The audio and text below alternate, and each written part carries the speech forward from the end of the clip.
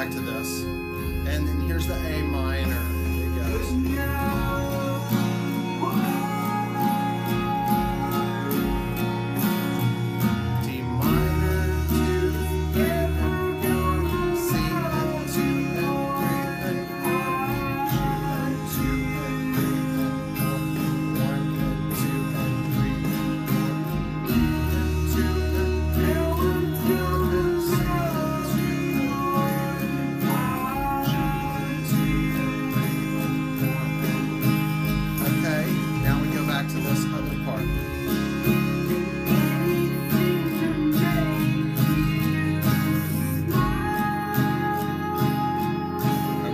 So that was the chorus. Now what we're going to do is just it, slow. It's slow, but. G